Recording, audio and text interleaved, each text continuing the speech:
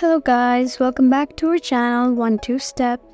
In this video, I'm going to be teaching you guys on how you can sign out of your Flybuys account.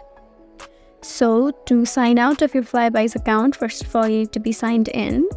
And after you've signed in, then you can just go over here on the top that has written your name over here and that has this downward arrow option. So just tap on it and you can see these options over here that has my account, activity history, place card, and finally sign out. So that's our so that's our solution over here. So just tap on sign out and you'll be signed out of your Flybuys account. So guys, if you found this video helpful, please leave us a like and drop a comment down below. And if you want more videos like these, then subscribe to our channel. We'll see you again next time. Thank you for watching.